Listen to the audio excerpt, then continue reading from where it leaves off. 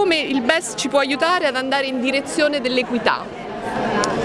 Ma il BES è un concetto interessante perché ci costringe a misurare delle, delle dimensioni che normalmente sono meno considerate cioè le, le, dimensioni qualitative della vita quotidiana e di una società. La sostenibilità infatti significa relazioni sociali, significa appunto equità, significa uguaglianza e disuguaglianza.